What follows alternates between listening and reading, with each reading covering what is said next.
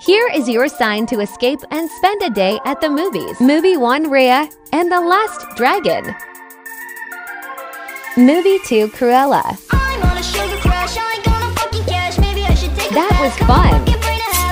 And I had enough time for a quick pop hunt.